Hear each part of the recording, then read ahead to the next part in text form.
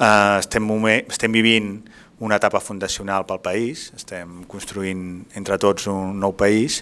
eh, un país eh, que ha de tenir una alta qualitat democràtica i és una oportunitat única eh, per construir unes institucions sòlides i que afavoreixin i permetin el govern obert. És una revolució cultural, un canvi de paradigma que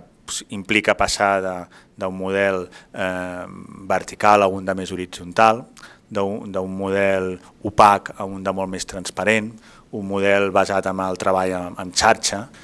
transparència, eh, participació i dades obertes. Avui hem fet cinc cèntims d'algunes de les coses que estem fent. El codi de conducta dels càrrecs i directius públics, clarificar les regles de conducta ètiques en els qual, per les quals ens hem de regir els dels càrrecs.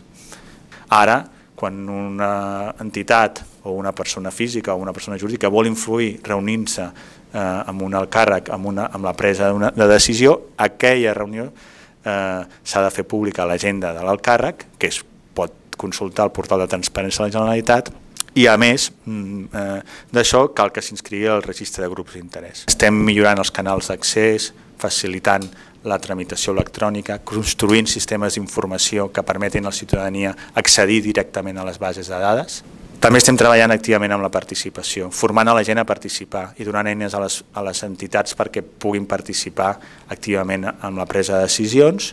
i donant eines a les escoles i premis a les escoles que destaquen fent constru construint projectes col·lectivament. En fi, hem tingut l'ocasió de compartir amb un equip de, de, de persones eh, molt implicades i innovadores eh, el que estem fent amb, amb Govern Obert i això és una oportunitat única perquè el Govern Obert és un govern que es construeix col·lectivament.